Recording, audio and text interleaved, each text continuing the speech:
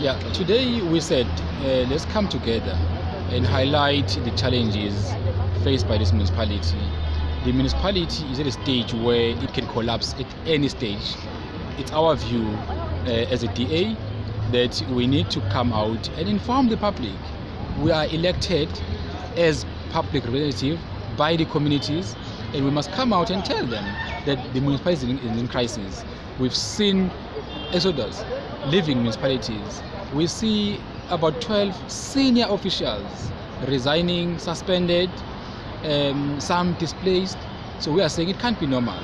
We can't allow also a situation when officials are being purged just because of their political decisions and the internal faction of the ANC can't be allowed to affect the entire municipality. It's the reason why we are saying we have to highlight these issues. It can't be right that the mayor can tell the public that she doesn't know who took a decision to, to buy armed vehicles.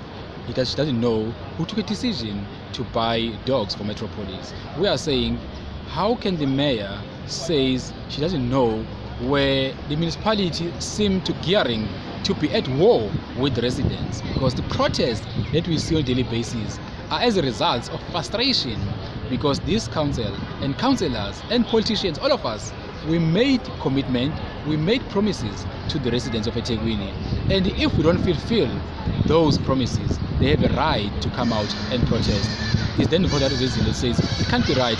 The mayor they can say she doesn't know who a decision, and the city manager says he doesn't know who took a decision. And it goes also to the head of department of Metro Police saying he doesn't know who took a decision.